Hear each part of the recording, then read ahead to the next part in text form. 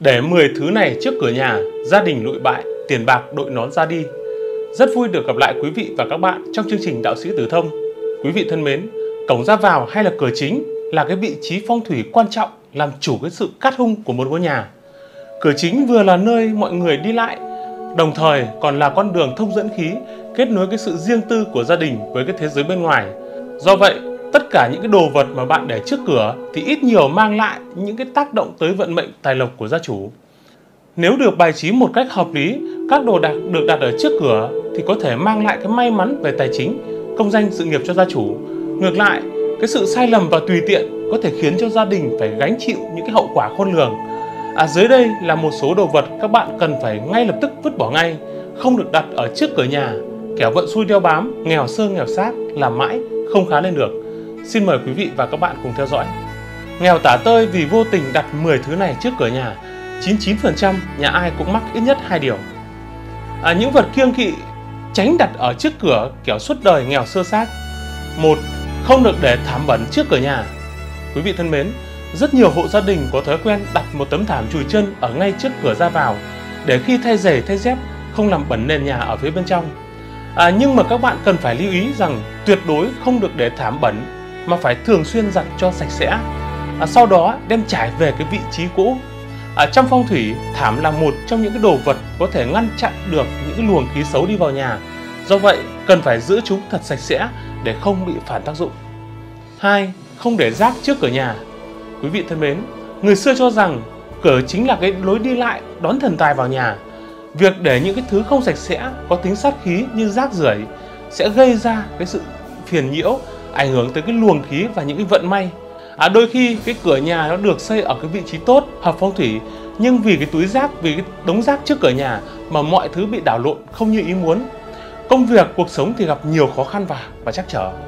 Bởi vậy, tốt nhất là nên vứt rác đi và không được để chúng trước cửa để giữ vệ sinh sạch sẽ và cũng là để không bị phạm lỗi phong thủy.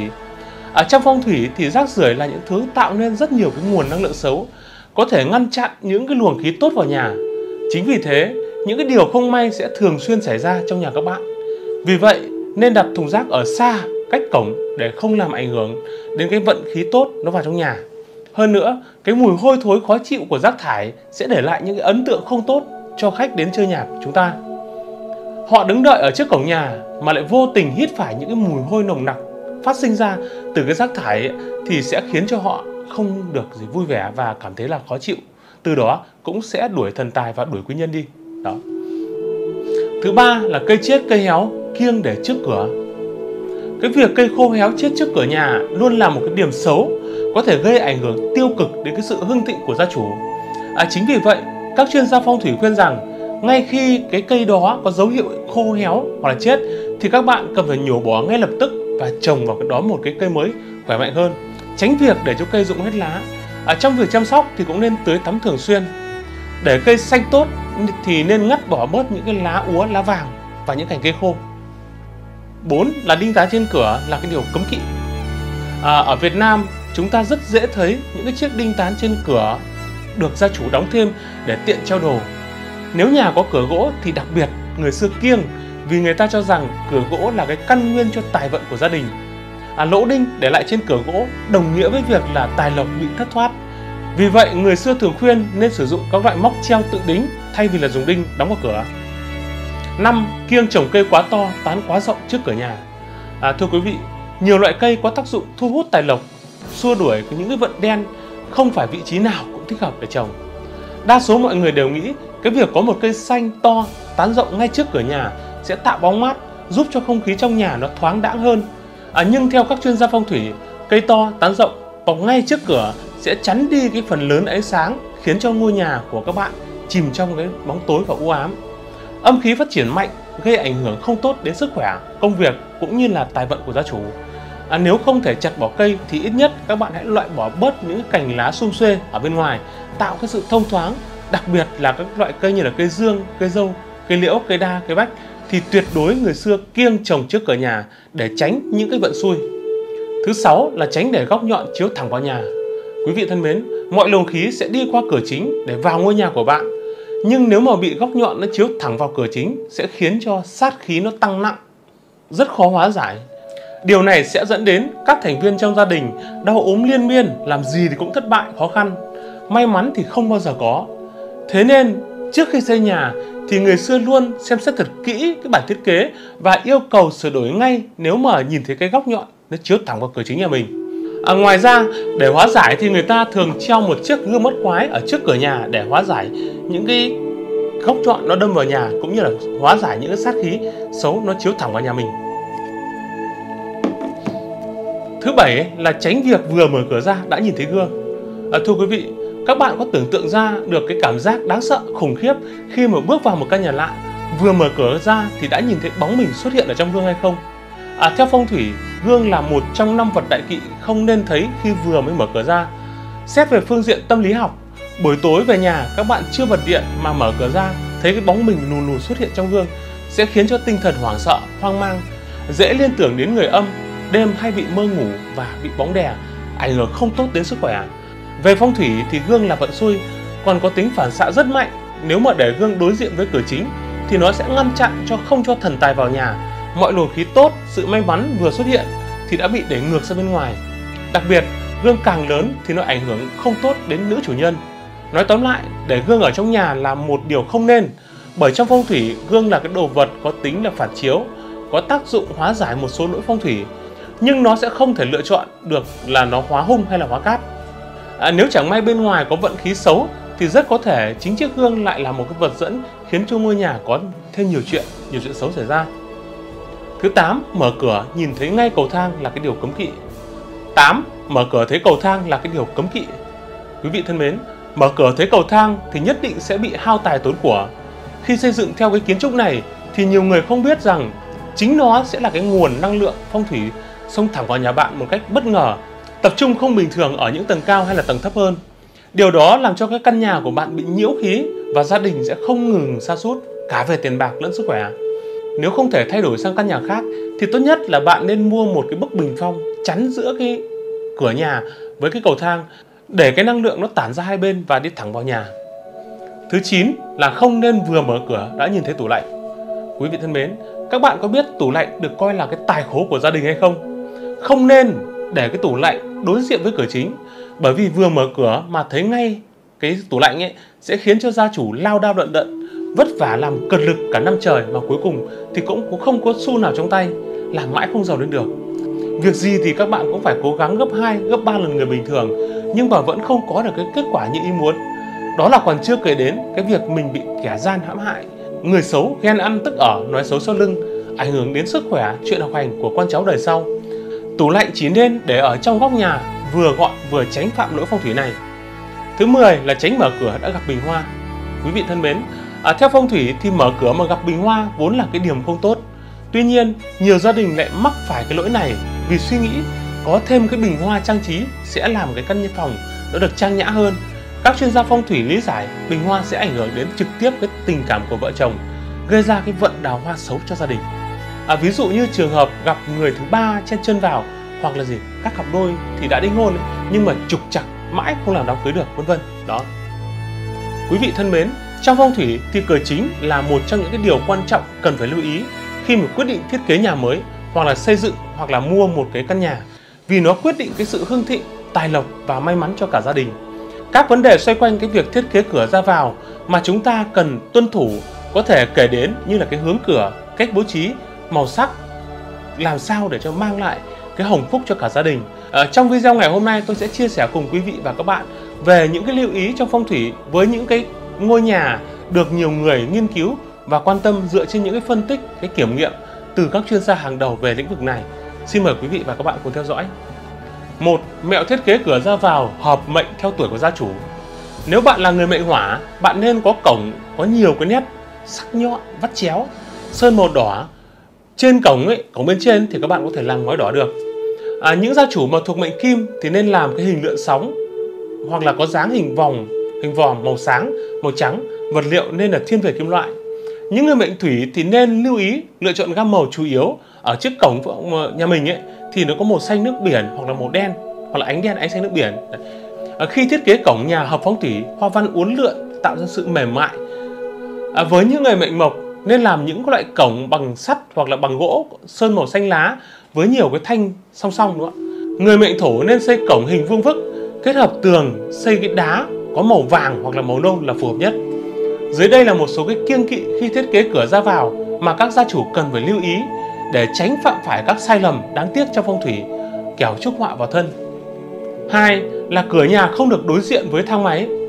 Đối với căn hộ chung cư, cửa chính không thể đối diện với cái thang máy được. Ở trong phong thủy, nếu mà cửa nhà đối diện với thang máy thì sẽ hình thành cái vấn đề nhìn ngó của những người qua kẻ lại, gây ra sự phiền phức. Khi cửa thang máy mở ra, cửa nhà chúng ta đồng thời mà cũng mở thì mọi người đều nhìn thấy hết. Chủ nhà có cảm giác là bị soi mói, khiến cho những bí mật riêng tư trong cuộc sống thì không được đảm bảo. Hơn nữa, theo phong thủy thì người ra người vào tạo ra cái âm thanh tạp loạn, ảnh hưởng đến cái chất lượng cuộc sống của gia đình, lâu dần tự nhiên sẽ ảnh hưởng đến sức khỏe của mọi người xung quanh. 3. Nên tránh cửa chính và cửa sau thẳng hàng với nhau. À, phong thủy nhà đặc biệt kiên kỵ tối kỵ cửa trước và cửa sau thành một cái đường thẳng. Hoặc là gì? Cửa sổ với cửa trước cũng không được nối liền thành một đường thẳng. Điều này giống như là vừa mới bước vào cửa nhà là có thể nhìn thấy hết toàn bộ cái ngôi nhà. Khí vào thì không tụ mà tán đi ngay tuột thẳng đi mất. Vào phía trước thì ra cửa sau. À, thưa quý vị cái phong thủy của ngôi nhà cần phải được tàng phong tụ khí tức là khí đi vào cửa chính và gì? Không đi ra thẳng cửa sau. À, theo thuật phong thủy cửa sân vườn cũng không nên nối với cái cửa chính tạo thành một cái đường thẳng. Đấy. cửa sân vườn cửa sau nhà và cái cửa phòng ngủ ấy nối thành một cái đường thẳng gọi là xuyên tâm sát. À, xuyên tâm sát thì dễ gây ra những cái chuyện thị phi bệnh tật kiện tụng và sẽ gặp nhiều chuyện ngoài ý muốn. À, phẫu thuật đổ máu hoặc là gì suy bại về tiền tài hoặc là bị cô độc vân vân. Vì vậy để hóa giải cái cửa nhà và cửa phụ đằng sau ấy nó bị xuyên tâm sát thì các bạn nên mở lệch ra nếu không thể mở lệch thì lắp cửa chắn gió hoặc là cái rèm chắn gió hoặc là làm một cái bình phong hoặc là làm một cái tủ rượu tủ giày để ngăn cách thì mới cắt lành lại được. Thứ tư là không nên để cửa quá cao. Quý vị thân mến, trong phong thủy thì không nên để cửa ra vào trong nhà quá cao vì dễ bị thị phi, bị tản khí. À, thưa quý vị, nếu mà cửa quá thấp thì người có chiều cao ra vào phải cúi đầu, nó chủ về tượng cứu người không cắt lợi. À, kích thước cửa phải tương xứng với ngôi nhà. À, cửa chính làm bằng máy vòm ấy, thì đại diện cho trạng thái động trong phong thủy, trong khi nhà ở thì cần tĩnh. Cửa chính mái vòm thì không thích hợp. Nhưng mà đối với các công trình giải trí công cộng thì cửa mái vòm lại có thể sử dụng trong phong thủy. Năm cửa đối diện nhà vệ sinh. Quý vị thân mến khi vừa mở cửa ra đã nhìn thấy nhà vệ sinh thì cái luồng năng lượng tốt nó dẫn vào nhà nó sẽ bị ô nhiễm bị ô uế. Cái dòng năng lượng này là sự khởi đầu để dẫn vào nhà một khi mà đầu nguồn nó không tốt thì được cuối nguồn hay giữa nguồn ấy, mà cụ thể là các không gian khác thì nó sẽ không cắt lành dẫn đến không tốt cho cả gia đình những lưu ý phong thủy với cửa chính của ngôi nhà thì nhà vệ sinh được coi là cái xấu nếu mà khi mở cửa ra nhìn trực tiếp vào. Chính vì vậy, cái nơi đặt nhà vệ sinh thì đều là cái vị trí hung nhất trong nhà với cái mục đích là lấy độc trị độc. Nếu mở cửa lớn mà gặp nhà vệ sinh là cái điều đại kỵ. Ngoài việc khiến gia chủ gặp vận xui xẻo và trục trặc thì nó còn ảnh hưởng đến sức khỏe của các thành viên trong gia đình. Với nam thường mắc các bệnh về thận bàng quang, cơ thể thì mệt mỏi, ủ rũ, trí nhớ thì bị suy giảm, nữ giới thì hay bị đau bụng nhẹ nặng ấy thì có thể là gì? Dẫn đến xuất huyết tử cung hay là đẻ non vân vân. Đấy thì để hóa giải thì chúng ta cũng cần nên treo rèm hoặc là gì? Treo bức tranh phong thủy để hóa giải cái điều này. Thứ sáu là cửa đối diện với cầu thang. Cửa chính trong phong thủy còn được gọi là miệng khí bởi vì cái ngôi nhà hấp thụ rất nhiều cái khí cần thiết. Đó cũng là nơi dưỡng khí cũng giống như cửa chính. Cầu thang là cái cánh cửa liên thông giữa các tầng. Do đó hình thức và vị trí bài trí cầu thang sẽ ảnh hưởng trực tiếp đến các thành viên trong gia đình. Đó là một trong những cái lưu ý về phong thủy cửa chính của ngôi nhà. À, chúng ta nên cân nhắc để bố trí. Khi mở cửa chính đối diện trực tiếp với cầu thang thì cái năng lượng phong thủy sẽ bị sộc lên một cách đột ngột bất ngờ vào những cái tầng cao hơn là tầng thấp, gây rối loạn cái trường khí, vì thế sẽ không tốt cho mọi người trong gia đình. Thứ sáu, tránh đặt bếp nấu đối diện với cửa chính. À, khai môn kiến táo, sách Dương Trạch Tam Yếu có viết khai môn kiến táo, tiền tài đa hao. Tức là khi mở cửa mà nhìn ngay thấy bếp sẽ không có lợi về mặt tiền bạc. Trường hợp mở cửa chính ra mà nhìn ngay thấy bếp nấu thì không chỉ sức khỏe bị tổn hại mà còn khiến cho tiền bạc không cánh mà bay, không thể giữ lại được. Đối với trường hợp này thì gia chủ nên là treo rèm hoặc là gì đặt một cái bình phong để che bớt đi. Đương nhiên nếu có điều kiện thì tốt nhất là lắp thêm rèm hoặc là gì chuyển bếp ra chỗ khác để hóa giải. À, thưa quý vị, cửa chính là một cái bộ phận đặc biệt luôn được chú ý khi thiết kế nhà vì nó là cái bộ phận giao thoa không khí giữa bên trong và bên ngoài của ngôi nhà kết nối nội ngoại thất hay đơn giản nó là cái nơi ra vào thường xuyên à, hy vọng là những chia sẻ vừa rồi đã giúp ích phần nào cho quý vị về cách sắp xếp và bố trí phong thủy của căn nhà nhà mình cảm ơn quý vị và các bạn đã quan tâm theo dõi quý vị đừng quên đăng ký kênh và nhấn vào chuông thông báo để ủng hộ cho chương trình còn bây giờ xin chào và hẹn gặp lại các bạn trong những video tiếp theo xin cảm ơn cách bài trí hũ tài lộc trên ban thờ kích hoạt sự giàu có may mắn đem đến tài vận liên tiếp cho gia đình À, chào mừng quý vị và các bạn đã quay trở lại kênh Đạo sĩ Tử Thông. Lời đầu tiên, thay mặt ban biên tập chương trình, xin kính chúc quý vị luôn gặp vạn sự lành, tấn tài, tấn lộc, vạn sự hanh thông. À, quý vị thân mến, từ lâu ấy, cái việc thờ cúng tổ tiên, ông bà đã trở thành một cái phong tục, là một cái chuẩn mực đạo đức và nguyên tắc làm người. Đồng thời, là một cái phần quan trọng trong đời sống tâm linh của người Việt. À, dân Việt thường trọng lễ nghĩa, hiếu thảo với cha mẹ và có hiếu với ông bà, với tổ tiên, với nguồn gốc của những người đã sinh ra mình. Đặc trưng của văn hóa nông nghiệp cũng được thể hiện qua cái bàn thờ tổ tiên. Ngoài những cái vật phẩm quan trọng trên bàn thờ như là đỉnh đồng này, hạc này, bát hương này, đĩa bồng này, đèn, hoa, vân vân. Thì chúng ta còn thấy trên cái bàn thờ có ba cái hũ đựng nước, gạo và muối hay còn được gọi là gì? Là hũ tài lộc. Nếu mà quý vị đặt đúng và làm đúng cái việc này thì trên bàn thờ sẽ tăng cường cái vượng khí và mang lại cái may mắn, tài lộc và thịnh vượng cho gia chủ. Hũ gạo muối nước còn được gọi là hũ tài lộc. Đó là một trong những cái vật phẩm quan trọng không thể thiếu trong cái bộ đồ thờ cúng của mỗi gia đình, giúp mang đến nhiều cái ý nghĩa may mắn, tiền tài và danh vọng. Nhưng không phải ai cũng biết về cách đặt ba cái hũ tài lộc này, đúng không? Ba hũ nước gạo muối trên bàn thờ ở vị trí nào cho đúng, cho chuẩn.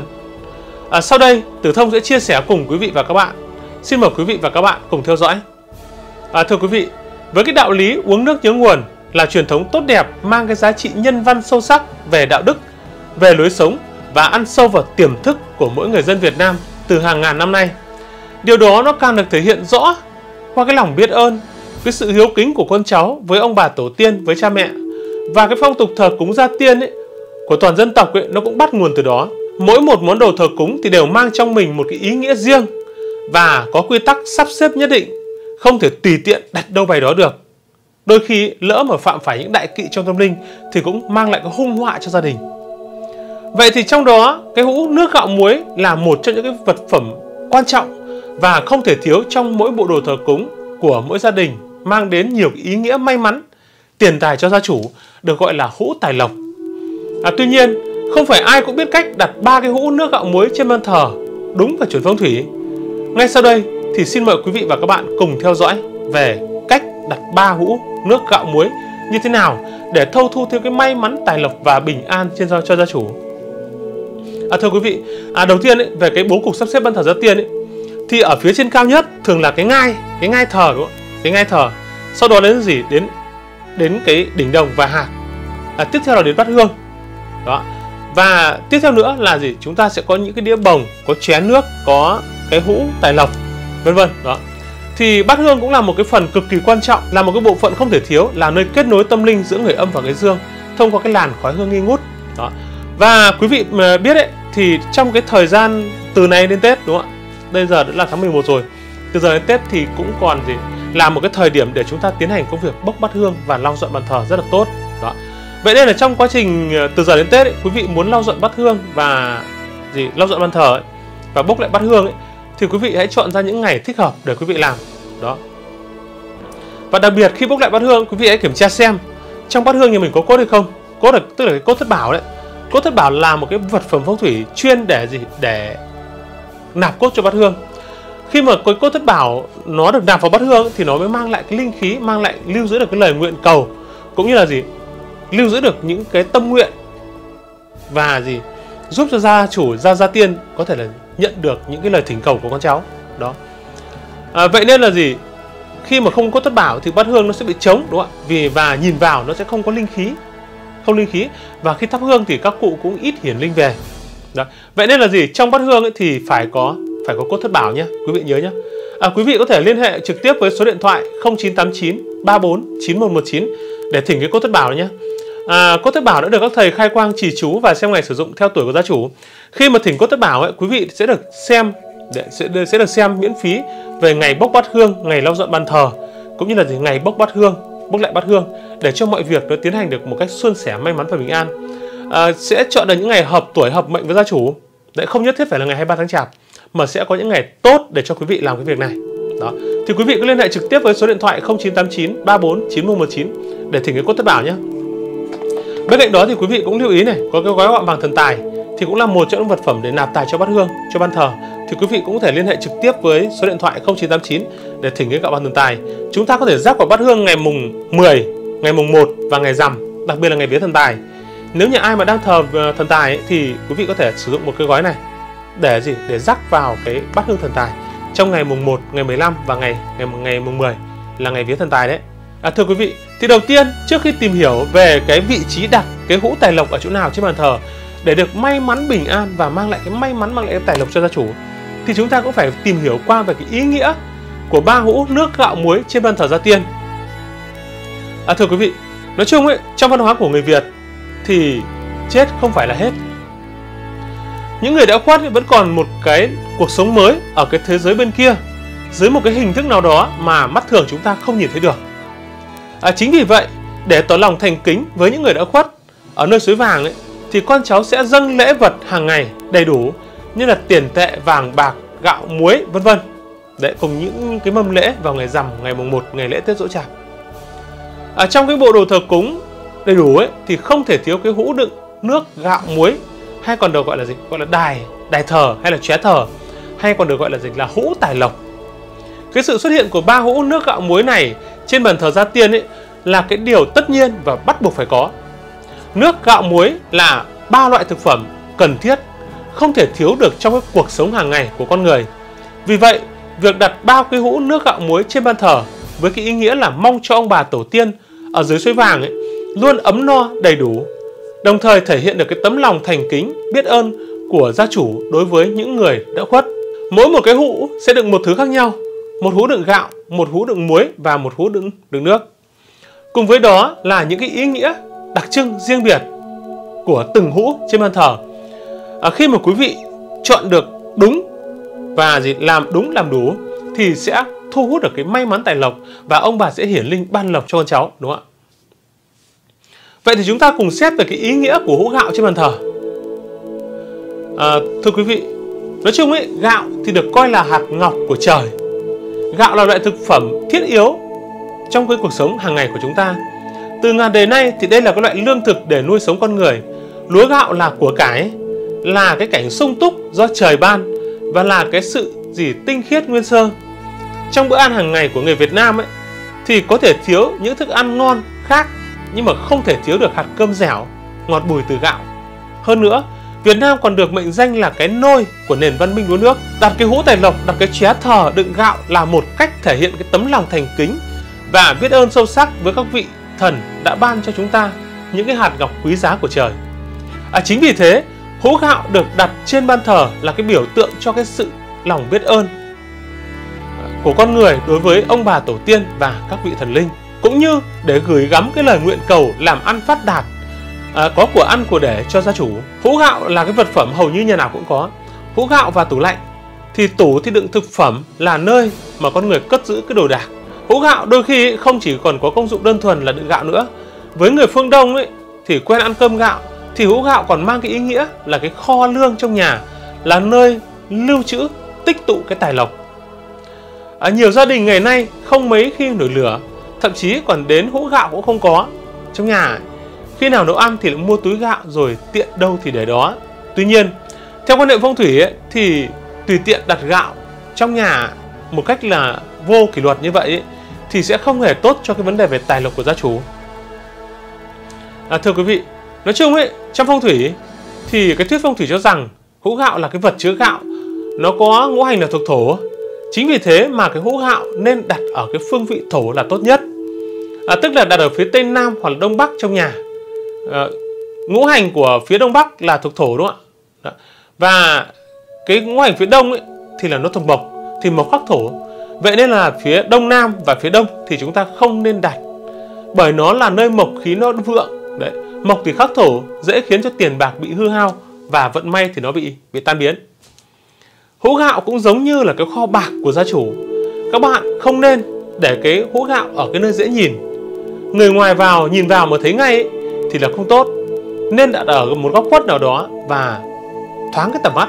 À, đó là hũ gạo đúng không ạ? Và hũ gạo à, gạo là một cái vật phẩm mà chúng ta cũng dùng rất nhiều trong việc thờ cúng. Đấy, quý vị thấy là khi chúng ta tiến hành các nghi lễ cúng bái như ngày rằm ngày mùng 1 hoặc là những ngày lễ quan trọng lập bàn thờ hay là bốc bát hương hay là những nghi lễ thờ cúng động thổ khai trương hay là làm gì đó thì chúng ta cũng cần như là có một cái đĩa cái đĩa đựng gạo và muối. Thì đó cũng là một cách để thể hiện cái tấm lòng thành kính. Đó đó là gạo nhé. Tiếp theo chúng ta cùng xét về ý nghĩa của hũ muối trên bàn thờ. À, thưa quý vị ông bà xưa có quan niệm là gì? Đầu năm mua muối cuối năm mua vôi. Muối đối với đời sống vật chất là một khoáng sản là một tài sản quý giá đối với con người là cái gia vị không thể thiếu trong cái cuộc sống hàng ngày. Đối với đời sống tâm linh thì muối có tác dụng giải sát cho gì cho con người còn tượng trưng cho cái ý chí mạnh mẽ kiên cường và trong sáng. Vì thế việc đặt hũ muối trên bàn thờ với cái mong muốn là sẽ có một cái cuộc sống ấm no vững chắc và thịnh vượng.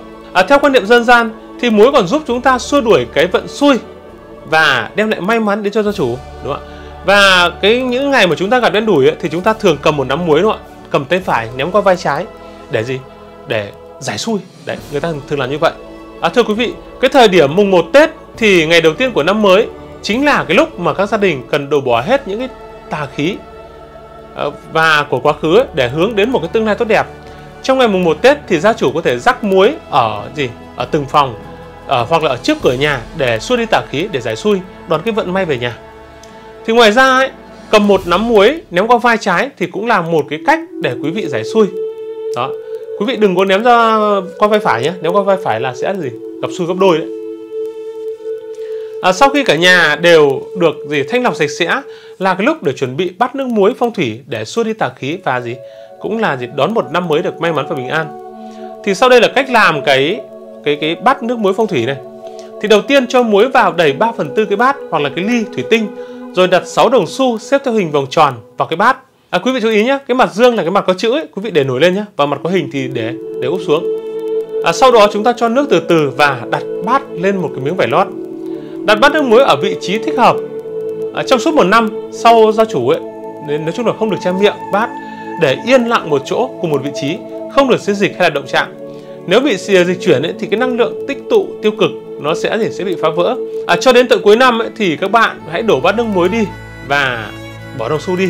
Đó như vậy là gì? Cách làm đó là để quý vị là gì? Có thể thâu thu thêm cái tài lộc. May mắn đó là gọi là cái cách làm hũ muối tài lộc.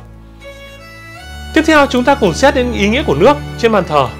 À, thưa quý vị nói chung ấy nước chính là cái ngọn nguồn của mọi sự sống trên cái thế gian này. Con người có thể thiếu ăn thiếu mặc nhưng mà không thể nào thiếu được nước sạch. Nước là cái nguồn tài nguyên cần thiết nuôi dưỡng vạn vật. Thiếu nước thì con người và vạn vật sẽ chết. Như vậy thì cũng đủ biết là cái tầm quan trọng của nước như thế nào rồi. Đồng thời, cái đặc tính của nước là mãnh liệt, trong sạch, thanh cao. Nước có thể rửa sạch những thứ vấy bẩn và nó làm nó trở lên thuần khiết và sạch sẽ hơn. Vì vậy, gia chủ đặt cái hũ nước trên bàn thờ để ước nguyện cái lòng thanh tịnh, tâm được tĩnh lặng, yêu thương, đó, gửi gắm cái hy vọng sống được một đời được an nhiên. Vượt qua những cám dỗ của đời thường, có được cái sức mạnh của sự trong sạch và như nước đó. À, thưa quý vị đó là ý nghĩa của nước gạo và muối. Vậy thì chúng ta có thể làm thế nào để làm được cái hũ tài lộc đựng ba cái hũ nước gạo muối đó? Đặt lên ban thờ hay đặt ở vị trí nào thì sẽ được tốt lành và may mắn. Ờ, ngay sau đây thì Tử Thông sẽ chia sẻ cùng quý vị và các bạn về cách đặt ba hũ nước gạo muối trên ban thờ chuẩn nhất. À, thưa quý vị, không gian thờ là nơi linh thiêng nên là gia chủ cần phải chú ý không nên tùy tiện đặt bất cứ cái vật gì lên trên bàn thờ mà phải tìm hiểu thật kỹ, xem xét phải cẩn thận. Vì nó có thể sẽ ảnh hưởng đến cái phong thủy của gia đình và khiến cho gia chủ gặp nhiều cái điều xui xẻo, không may mắn. Với cái tầm quan trọng của ba cái hũ nước gạo muối trên bàn thờ ấy, thì cái việc sắp đặt của các hũ này cũng không thể tiến hành một cách tùy tiện được không thể bạn đâu đặt đấy được đúng không ạ cho dù không gian thờ tự có lớn hay là nhỏ được sắp xếp ra sao thì gia chủ cũng phải nên chú ý với vị trí sắp xếp của ba cái hũ đựng nước gạo muối trên bàn thờ, sao cho phải phù hợp và đúng với phong thủy nhất? Điều này nó không chỉ gây ảnh hưởng tới phong thủy của bàn thờ, mà hơn hết, khi đặt đúng vị trí theo phong thủy thì sẽ giúp ông bà tổ tiên nghe thấy được những lời nguyện cầu của con cháu của gia chủ, từ đó mà phù hộ độ trì cho cuộc sống của gia chủ được bình yên, may mắn, tài lộc dồi dào. Vậy thì cách đặt ba hũ gạo muối nước trên bàn thờ như thế nào? Gọi là chuẩn phong thủy thứ nhất, vị trí đặt ba hũ gạo muối nước. Gia chủ có thể sắp xếp ba cái hũ gạo muối nước thành hàng ngang hoặc là thong thành hình tam giác. Theo thứ tự sắp xếp thì hũ ở chính giữa sẽ là nước và hai hũ hai bên sẽ là gạo và muối, đúng không ạ? Cái vị trí sắp đặt ba hũ gạo muối nước thì gia chủ nên đặt ở phía trước cái bát hương và phía sau cái mâm bồng. Đó là trên bàn thờ gia tiên. Và mỗi chế thờ cách nhau một đoạn tùy theo cái không gian mà quý vị sắp xếp làm sao cho nó hợp lý và không bị nó gò bó quá đúng không ạ? Còn vị trí đặt ba hũ nước gạo muối trên bàn thờ thì còn phụ thuộc vào cái không gian hẹp hay nhỏ kích thước bàn thờ lớn hay bé của mỗi gia đình đúng không và quan trọng là cái loại bàn thờ đó là loại bàn thờ gì mà có thể đặt các vị trí khác nhau. À, cách đặt với từng loại bàn thờ này. Thứ nhất là đối với bàn thờ gia tiên. À, thưa quý vị bàn thờ gia tiên thì chúng ta đặt ba hũ nước gạo muối được, thành một cặp. Vậy. đôi khi cũng chỉ đặt một cặp gạo và muối thôi cũng được các bạn có thể đặt hai hoặc là ba hũ ở phía trước bát hương và phía sau mâm bồng. Nếu mà gia chủ thờ hai hũ ấy, thì một hũ đựng gạo và một hũ đựng muối. Đó. hoặc là một hũ đựng nước và một hũ đựng đựng muối. À, chúng được đặt uh, ngay sau mâm ngũ quả và gì? Trước cái bát hương theo cái hàng ngang. Còn đối với ban thờ thần tài thổ địa ấy, thì hũ gạo muối nước được đặt sau bát hương và nằm giữa ở hai thần ông thần tài thổ địa và bát hương ấy. Đó xếp theo hình tam giác, đúng không ạ? Quý vị có thể xếp theo hình tam giác hoặc là theo theo đường thẳng cũng được. Đối với ban thờ Phật thì gia chủ chỉ cần gì? Đặt một hũ nước sạch hoặc là hai hũ ở hai bên để cho thanh tịnh là đủ. Còn đối với những nhà mà có không gian nhỏ hẹp hoặc là ban thờ quá bé thì việc đặt ba hũ nước gạo muối sẽ chiếm nhiều cái diện tích thì quý vị có thể đặt hũ muối và hũ hũ gạo thôi cũng được. Đó đó là cách đặt hũ nước gạo muối để thâu thu cái tài lộc và may mắn à, thứ ba chúng ta cùng xét về những cái lưu ý khi mà đặt ba hũ nước gạo muối trên bàn thờ. À, thưa quý vị cái việc thờ cúng là cái việc vô cùng quan trọng và linh thiêng. Nếu đã xác định thờ cúng tổ tiên thần linh thì gia chủ cần phải thành tâm. Vị trí đặt hũ gạo muối nước trên bàn thờ đúng sẽ mang lại cái ý nghĩa linh thiêng. Do đó khi đặt ba hũ gạo muối nước trên bàn thờ thì gia chủ cần phải lưu ý những cái vấn đề sau. À, thứ nhất là tùy theo kích thước bàn thờ và cách bài trí cái đồ thờ cúng để gia chủ có thể chọn cách đặt hũ gạo muối nước có kích thước phù hợp. Gia chủ nên lựa chọn các loại gạo ngon. Nếu ở quê thì lấy gạo mới, gạo mới chín đúng không ạ? Gạo mới mới gặt đấy. Và nước sạch, muối sạch để làm cái vật phẩm thờ cúng trên bàn thờ.